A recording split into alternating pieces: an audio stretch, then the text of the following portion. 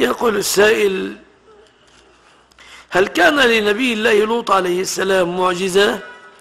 لم تذكر تلك المعجزة كما أن أنبياء كما أن أنبياء لم تذكر أسماؤهم فكذلك كثير من الأنبياء لم تكن لم تذكر لهم معجزة وإلا فكل نبي أيد بمعجزة. قال رسول الله صلى الله عليه وسلم ما من نبي من الأنبياء إلا وقد أوتي ما على مثله آمن البشر.